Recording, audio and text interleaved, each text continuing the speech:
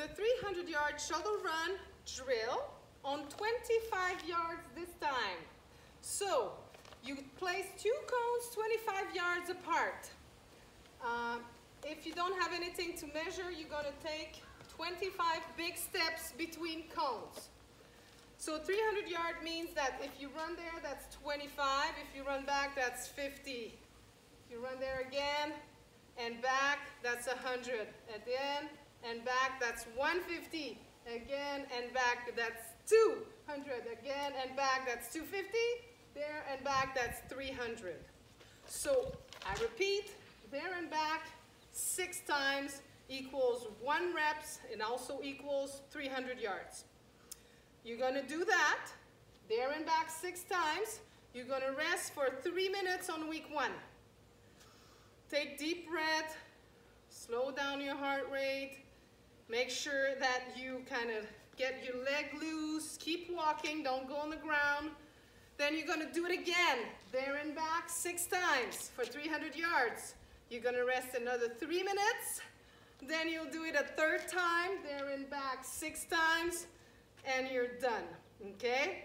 This is much harder than the 50 yard split because you're stopping 11 times instead of five times on the 50 yard splits.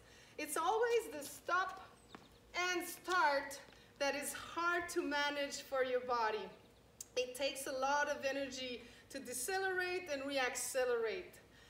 Therefore, um, you're going to make sure that you stop, reaccel with three to four big strides, then you coast.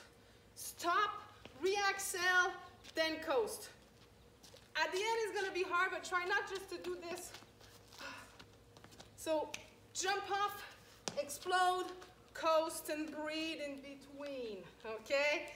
I just want to warn you right now, you're to feel your legs burning. They're to fill with lactic acid. We're working on anaerobic capacity. This drill, if you do there and back six times for the 300 yard, you should do it between 60 to 75 seconds. If you are in top shape, Olympic athlete shape, 60 seconds, all three reps and you're working your way there. You'll see what you do on the first time. At first, you don't know how to pace it.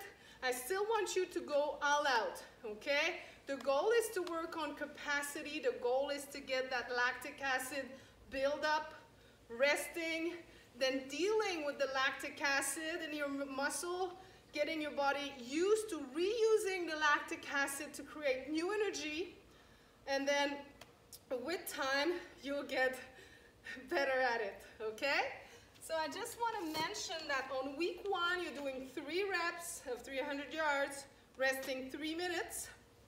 On week two, you're still doing three reps, so it's not long. It's about between a minute to a minute and a half of work, depending on your fitness level, three times, okay? But that feels very heavy legs, okay? But you're resting for 2.5 minutes on week two. On week three, that's gonna be the tough week. Four reps, two minutes break. Okay, that one is gonna be tough. And on week just for a little testing yourself, you're going to place the cones 50 yards apart, just like we did last month. And you're going to do 300 yard shuttle, so there and back, but only three times. So, and then you're gonna rest for two minutes and you're gonna give your all. So on the week four, it's a test. You're changing the drill to a 50 yard split. When you do the 50 yard split to equal 300, you need to go there and back, there and back, there and back, only three times, just like last month. Resting two minutes. Try to do it all three reps under 60 seconds, okay? Good luck.